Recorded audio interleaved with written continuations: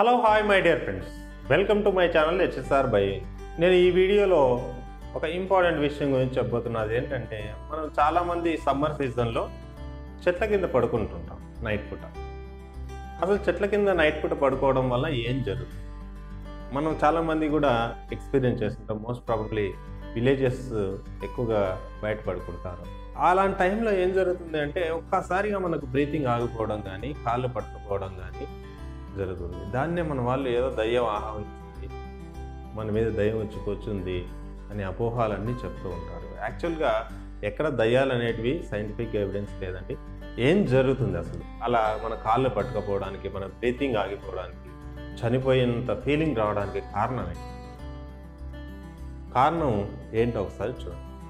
చూడండి ఇది మీకు అర్థం కావాలంటే సింపుల్ ఒక రెండు స్టెప్స్లో ఒక చిన్న ఫార్ములాస్ ఉన్నాయి చెప్తాను.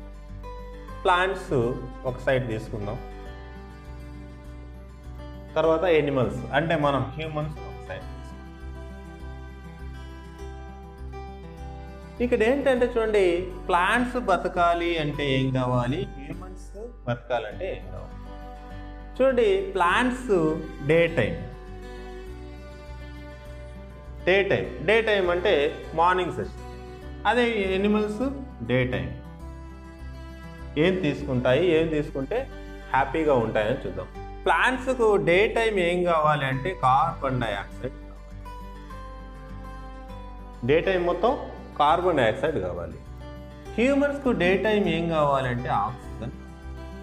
మనం పీల్చుకునే గాలిలో ఉండే ఆక్సిజన్ అనేది మన శరీరానికి చాలా అవసరం. అది కాన్సెప్ట్. అదే నైట్ టైం చూడండి. ఇక్కడ నైట్ టైం చూస్తే నైట్ టైం ప్లాంట్స్కి ఏం కావాలి అంటే ఆక్సిజన్ కావాలి. నైట్ టైం ప్లాంట్స్కి ఏం కావాలి? ఆక్సిజన్ కావాలి. మరి హ్యూమన్స్కి నైట్ టైం ఏం కావాలి? హ్యూమన్స్కి నైట్ టైం కూడా ఆక్సిజనే కావాలి ఇక్కడ ఒక సింపుల్ కాన్సెప్ట్ అర్థం చేసుకుంటే ఎందుకు మన చెట్ల కింద నైట్ పడుకోమనే పడుకోకూడదు అనేది చూడండి డే టైము ప్లాంట్స్ కార్బన్ డైఆక్సైడ్ని యూజ్ చేస్తుంటాయి. అదేవిధంగా ఆక్సిజన్ని రిలీజ్ చేస్తాయి. కార్బన్ డైఆక్సైడ్ని తీసుకొని ఆక్సిజన్ని రిలీజ్ చేస్తాయి. ఈ ఆక్సిజన్ని ఎవరు తీసుకుంటున్నారంటే హ్యూమన్స్ తీసుకుంటున్నారు. అది డే టైం అంటే మార్నింగ్ పగలు నైట్ టైంలో ఏం జరుగుతుంది అంటే ప్లాంట్స్కి ఆక్సిజన్ కావాలి. ఎందుకు ప్లాంట్స్కు నైట్ టైం ఆక్సిజన్ కావాలంటే చూడండి ప్లాంట్స్కి ఒక ప్రాపర్టీ ఉంది? అదేంటంటే ఫోటోసింథసిస్ ఈ ఫోటోసింథసిస్లో ఏం జరుగుతుందంటే కార్బన్ డైఆక్సైడ్ని తీసుకొని ఏం చేస్తుందంటే అది ఎనర్జీని ప్రొడ్యూస్ చేస్తుంది. మనం తినే ఫుడ్లో ఉన్న ఎనర్జీ దేని వల్ల వస్తుందంటే ఫోటోసింథసిస్ వల్ల వస్తుంది. ఫర్ ఎగ్జాంపుల్ మనం ప్లాంట్స్ తిన్నాం ఫ్రూట్స్ తిన్నాం దానిలో స్టోర్ అయిన ఎనర్జీ ఎక్కడి నుంచి వస్తుందంటే ఫోటోసింథసిస్ వస్తుంది. అదే ఎనర్జీని ఆ ప్లాంట్ కూడా యూజ్ చేసుకుంటుంది. మరి కార్బన్ డైఆక్సైడ్ను గాలిలో ఉన్న కార్బన్ డైఆక్సైడ్ తీసుకుని ఎనర్జీని ప్రొడ్యూస్ చేస్తుంది. ఇక్కడ మార్నింగ్ సెషన్ మొత్తం ఎనర్జీని ప్రొడ్యూస్ చేసుకొని స్టోర్ చేసుకుంటుంది. రాత్రిపూట ఏం చేస్తుందంటే ఈ ఎనర్జీని యూటిలైజ్ చేస్తుంది. అంటే ఉపయోగించుకుంటుంది. ఈ దాన్ని ఏమంటారంటే రెస్పిరేషన్ అంటారు. దీన్ని శ్వాసక్రియ అంటారు. ఎనర్జీని యూటిలైజ్ చేసుకోవాలంటే శ్వాసక్రియ అనేది జరగాలి. మనం కూడా ఎప్పుడైతే బ్రీత్ ఇన్ బ్రీత్ అవుట్ చేస్తున్నాం అప్పుడు మాత్రమే శ్వాసక్రియ జరుగుతుంది. అలాంటి టైంలో మాత్రం మనకి ఎనర్జీ అనేది ప్రొడ్యూస్ అవుతుంది. ఇప్పుడు చూడండి. ఎనర్జీని ప్రొడ్యూస్ చేసుకోవాలంటే కార్బన్ డైఆక్సైడ్ కావాలి.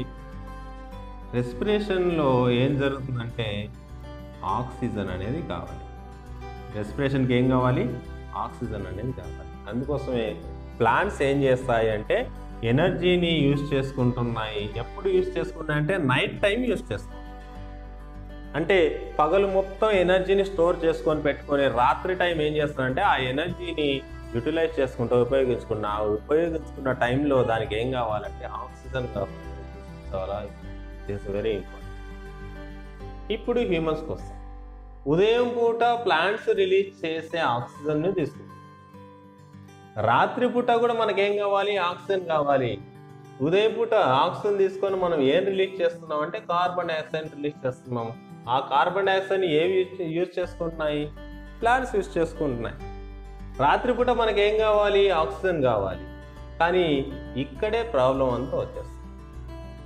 మనం చెట్ల కింద పడుకో చెట్ల కింద పడుకున్న చెట్లకి ఏం కావాలి అంటే ఆక్సిజనే కావాలి.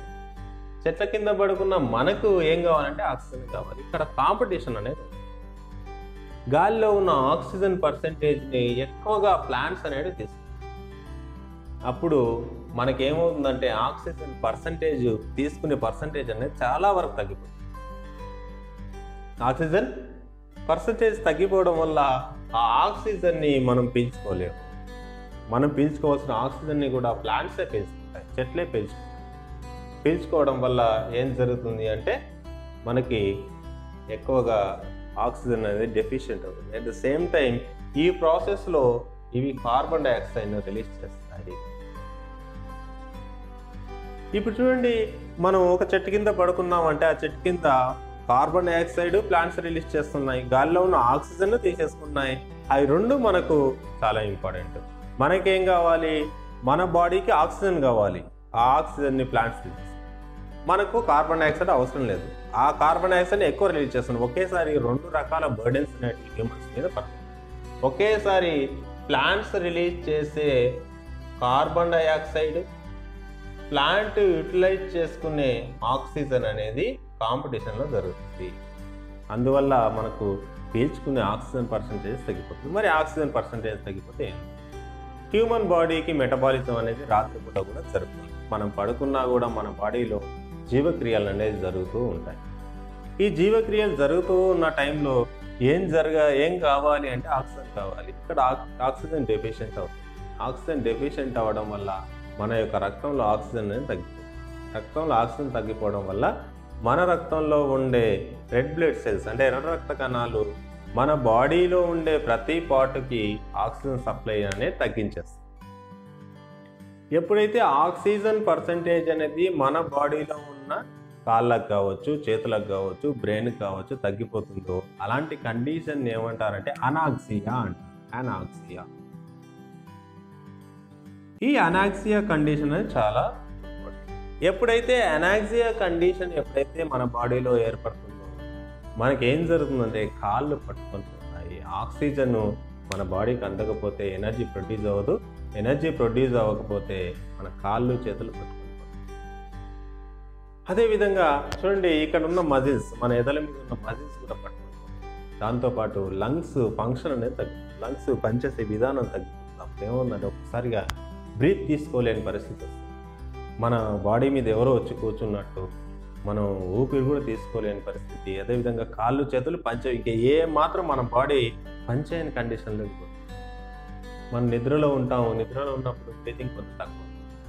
ఆ కండిషన్లో ఇలాంటి పరిస్థితి జరుగుతుంది. దాన్నే మన పెద్దవాళ్ళు ఏమంటారంటే అదేదో దయ్యం వచ్చి మన మీద కూర్చుంది కాబట్టి ఈ విధంగా జరుగుతుంది కాబట్టి బయట పడుకోవద్దు అని కొన్ని సజెషన్స్ చేస్తుంటాం అది తప్పు కాదు. కానీ యాక్చువల్ కాన్సెప్ట్ ఏంటి అంటే మనం చెట్ల కింద పడుకున్నప్పుడు మాత్రమే ఇది జరుగుతుంది. నార్మల్ ఓపెన్ ఏరియాలో మిద్ద మీద కానీ అలాంటి ఏరియాలో పడుకున్నప్పుడు జరగదు. ఇది అందరూ గుర్తు.